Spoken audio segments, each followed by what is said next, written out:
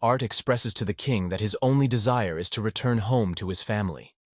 Now that the princess has returned safely, Tesha becomes anxious at the possibility of losing her new friends. After discussing their options, the king and queen decide to reward Art for his bravery in saving their daughter. However, the teleportation gate that leads to the human kingdom only opens during the summit conference, which occurs once every seven years. So instead, the king offers to send a group of guards with Art to escort him safely to his house. While the escort is prepared, the king offers to let him stay in the palace. He is given a comfortable room in the palace, but while taking a shower, he experiences another bout of pain from his mana core. He sits on the couch, holding the egg to comfort himself. He starts to wonder how nice it would have been if Sylvia was here to help him. As he is lost in thought, he hears a knock at the door. Just as he opens the door, Tesha headbutts him without a warning. She is upset as Art is going to leave soon.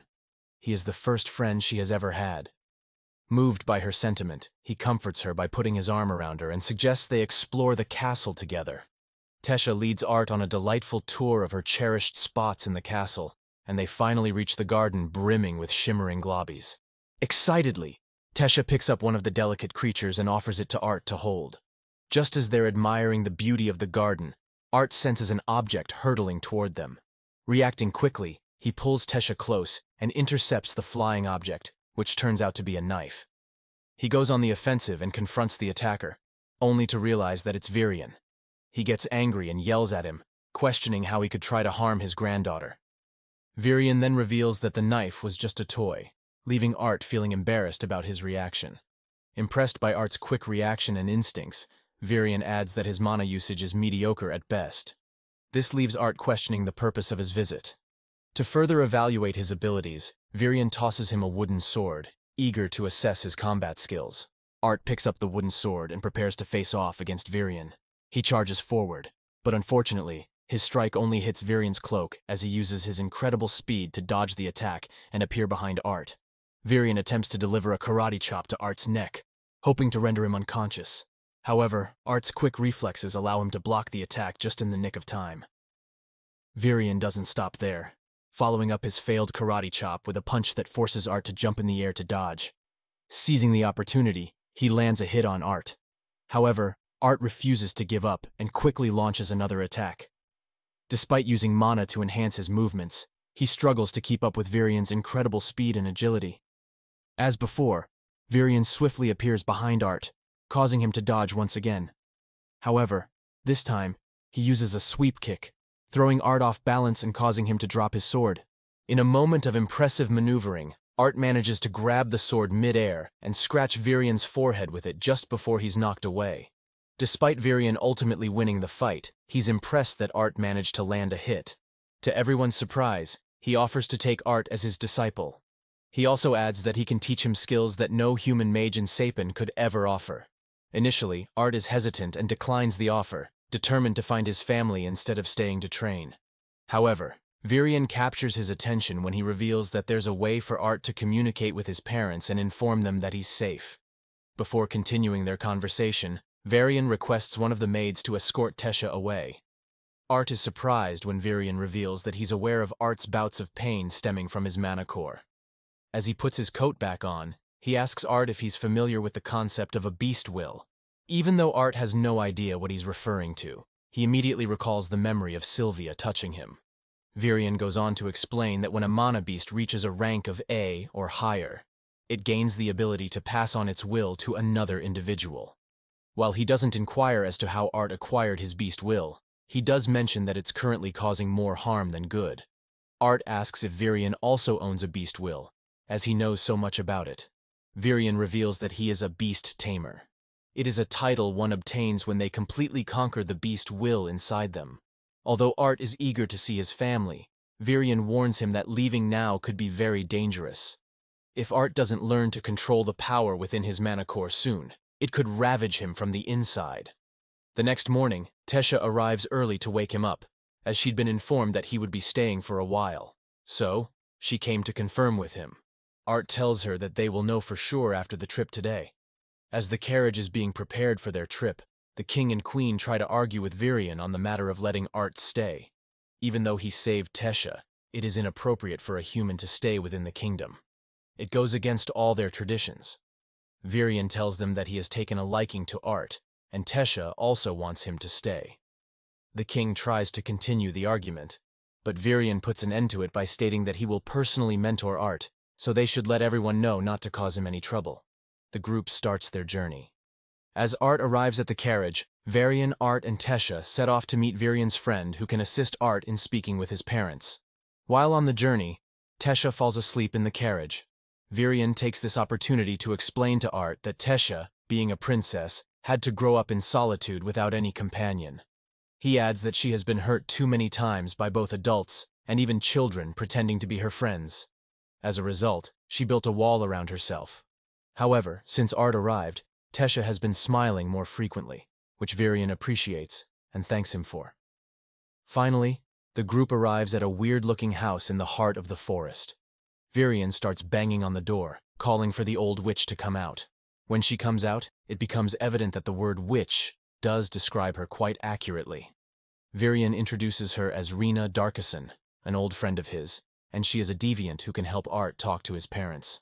Rena prepares a large bowl filled with water, and as she uses her magic, she instructs Art to imagine a mental picture of his parents while gazing at the water surface. She tells him that once he can see his parents' image in the reflection, he will be able to communicate with them. Art creates a vivid mental picture of his mother and father, and to his amazement, their image begins to emerge slowly in the water. Art's parents were extremely saddened by his alleged demise, and their sorrow was evident in their appearance. While preparing dinner on a typical day, they are astounded to hear Art's voice resonating in their minds, leaving them in shock. He tells them how he managed to survive the fall and is staying in the Elven Kingdom. All the while, his parents can't help but recall the awful memories of when they lost their son after the fall. Ray searched everywhere but only found the dead bandit. Alina was so overwhelmed with grief from losing her son that she even attempted suicide. After searching for so long, the couple eventually concludes that Art must have died. They eventually go to Xyrus, where they go to a wealthy friend of Ray's. He offers him a new job as the head of security, and the couple starts a new life there. In the present, upon hearing their son's voice, the couple cannot help but burst into tears while embracing each other as they are overwhelmed with emotions. Even Art can't hold back his tears as he watches them in the water's reflection. Now, more determined than ever to get back, he tells Virion that he is ready to start their training, as he wants to get back as soon as possible. When they return to the castle, Art is stopped by the king as he tries to enter. Both the king and the queen apologize to him for what they said earlier. The king welcomes him to the castle and thanks him for saving his daughter. They are interrupted by Tesha, who wants to show Art around the city as a form of apology. Art waits patiently for Tesha at the steps of the castle. When she finally arrives, they set off to explore the city. During their stroll, Art bumps into a noble elf. He is one of those elves who believe Art doesn't belong in their city, despite Virion saying otherwise. Farith Ivsaar comes off as the annoying side character that one reads about in every novel. While introducing himself to Tesha, he doesn't even bother to pay attention to Art. Art mocks him by pretending to mistake his name for a Pokemon and sarcastically introduces himself as well. This angers Farith, and he challenges Art to a duel, staking the honor of his house. He asks him what he will do, telling him that his decision will reflect upon his mentor. Before Art can reply, he decides to take his silence as an acceptance. Tesha is forced to officiate the duel as the prideful noble confidently moves toward Art. He fails to realize the strength of his opponent. Before he can finish his cliché lines about his genius, Art quickly dashes toward him and takes him out with a single punch, leaving even himself surprised by the weakness of the noble. After all that talk, Tesha grabs him, and they continue their tour, relishing the moment. As Art's training is scheduled to start the next day, and they might not have the chance to do this again, she asks him if he is nervous. But Art tells her he is excited, not only for the training, but also for seeing his parents. Having come a long way, he is eager to see what the future holds for him. Art and Tesha have become even closer friends while training together under Virion for three years. During their training, they learned that there are four basic elements water, earth, fire, and air. Each has a higher form, namely ice, gravity, lightning, and sound, respectively. These higher forms can only be controlled by a mage who has mastered its basic element. Each race has its elemental affinities, with the dwarves excelling in manipulating earth and fire, and some of them possessing such mastery over these elements that they are capable of conjuring and manipulating magma. On the other hand, elves are limited to water, wind, and earth elements, but they have a much higher affinity for them than humans. In rare cases, elves can produce a special deviant that can control plants. However, elves aren't able to produce mages that can control the higher forms. Humans have the ability to control all four basic elements and are capable of producing deviants in any of those elements. They can even produce anomalies that can't be categorized into the basic elements, like healers and emitters. There exists a delicate balance of power between all these races. This is the explanation that Art gives Virion as part of his lesson. As part of the process called assimilation, Virion is preparing Art's body to pass on his beast will. Meanwhile, Tesha is undergoing rigorous physical training every day to develop her skills. For an elf, it is not usual to awaken at the age of 10, unlike humans who typically awaken during their preteen years. However, her awakening occurred at the tender age of 9, and since then, she's been honing her conjuring abilities under a mentor while simultaneously engaging in combat training with Virion. She is tired of getting beaten up all day, so she asks Virion to let Art do physical training as well. He explains to her that during the past three years, Art has been basically fusing his bones, muscles, and organs with his mana. He assures her that despite not doing physical training, he will become much stronger and more resilient. After three years of training, the time has finally come for Virion to stabilize Art's mana core. This means that he will become a beast tamer like him. He puts his hand on Art's chest, and Virion explains that he is going to insert a large amount of his mana into Art's mana core. As soon as he starts the process, Art feels immense pain throughout his body. The pain is followed by an explosion of mana, which sends Virion and Tesha flying. Virion is shocked, as this has never happened before. He asks Art what kind of a beast gave him its will for there to be such a powerful reaction. Virion is left completely awestruck as Art tells him it was a dragon. Art passes out soon after. When he gains consciousness, he finds Virion by his side and expresses his gratitude for keeping his beast will a secret. Virion reminds him that the time for his departure is close, with only four months left. Art is surprised, as he thought the summit conference was still two years away. Virion tells him that an interracial tournament is being held for the youths, and so the portal to Xyrus City will open. He is both happy and worried at the same time, as he knows that he will have to break this news to Tesha. Virion tells him that now that the assimilation process is complete, they will train even harder for the last four months before leaving. Virion also tells him that he will break the news to Tesha. As Art sits in his room alone, he hears a cracking sound. It is the egg that Sylvia left him with, and it is about to hatch. From within the egg, a baby dragon emerges, revealing itself to be a small, adorable creature with jet-black scales, minuscule wings, and barely visible teeth. Overwhelmed by the cuteness of the dragon, Art picks it up. But to his surprise, the little dragon bites him on his arm, leaving behind a distinctive burn mark from its fiery breath. As Art tries to communicate with the baby dragon, he hears a voice in his mind. It appears that the dragon has formed a telepathic bond with him, as she thinks of him as her mother. Deeply touched by this, Art decides to name the dragon Sylvie, in honor of its real mother. Art is taken aback as he senses a surge of excitement emanating from Sylvie at the sound of her newly given name, making him realize that his connection with the baby dragon goes beyond mere telepathy. Overcome with exhaustion, he falls asleep on his bed with Sylvie by his side. He is woken up by an excited Tesha as she discovers the cute baby dragon. He explains everything to her, from how she hatched to his mental connection with her. They take Sylvie to Virion when they go for their usual training lesson. Virion is completely stunned when he sees a dragon casually sitting on Art's head. Art tells Virion about Sylvie's unusual hatching, and Virion explains that creatures like her typically only hatch in the presence of their own kind. Art realizes that activating Sylvia's will may have caused Sylvie to hatch, Virion suggests he should simply claim that Sylvie is a rare creature when he returns, as many people are not familiar with mana beasts. With Art now fully awakened, Virion suggests that they begin training to enhance his mana core. He emphasizes that the most effective way to strengthen both the mana core and the beast will is through constant combat. Art feels a rush of excitement at the prospect of sparring with Virion once again.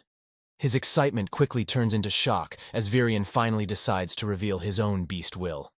A black shadow shaped like a panther surrounds him. As the shadow clears up, Art sees a black figure with yellow eyes and razor-sharp claws. It's Virion, who has activated his beast will. Beast tamers possess a rare gift, as they are among the few mages who have the ability to tap into the innate powers inherited from a mana beast. This initial stage, commonly referred to as the acquire phase, enables the mage to draw upon the strength and agility of the mana beast, imbuing themselves with heightened speed and physical prowess. Upon entering the second phase, known as the integrate phase, a beast tamer gains the ability to fully harness the distinctive powers of their mana beast. Virion, having dedicated decades to mastering this stage, can now skillfully wield the deadly prowess of a shadow panther to his advantage. Virion tells Art to get ready, warning him that he is going to sneak up behind him. Art is confident that it won't happen, as he is now ready because of the warning. He keeps his eyes firmly on Virion, but in the blink of an eye, Virion completely disappears. A moment later, Art feels a dark, shadowy hand on his shoulder. He quickly turns around to attack, but once again, Virion disappears from his sight and comes up behind him. Realizing the strength of his foe, Art decides to surrender, as he knows he can't win if he can't even follow his movement. As Virion reverts back to his original form, he reveals to Art that while the integrate phase grants him immense power, it comes at a cost. The exertion of the transformation drains him considerably. Despite his years of training, Art realizes that it wasn't just his speed, he couldn't feel Virion's presence at all. Virion explains that shadow panthers possess the innate ability to manipulate the wind and sound around them, rendering themselves entirely undetectable. Having completed the demonstration, they resume their training. Days quickly pass as Art gets immersed in his training through Virion's guidance and his own insight. He succeeded in unlocking the initial stage of his beast will. Virion also taught him how to hide his beast will when around other mages. Art spent most of his time either strengthening his mana core or studying a dragon will. When he wasn't doing either, he was constantly sparring with Virion. Despite his busy training schedule, Art made sure to carve out time to enjoy his youth with Tasha, just as Sylvia had hoped he would. However, as the day of his departure drew near, he found it increasingly difficult to deliver the news to Tesha, whom he had spent countless days with over the past few years. Before his departure, Art carefully wrapped the feather around Sylvie's mark, allowing it to be concealed more easily. He would be leaving for the interracial tournament in a carriage alongside his fellow competitors. As a farewell gift, Virion presents Art with a compass bearing the crest of House Eralith. Art hugs Tesha while saying goodbye, telling her that he will miss her and promises to meet again. When he boards the carriage, he is surprised to find Farith sitting there. It seems he is one of the participants. Before Farith can start ranting about how he was beaten unfairly, Art grabs his hand and apologizes for what happened.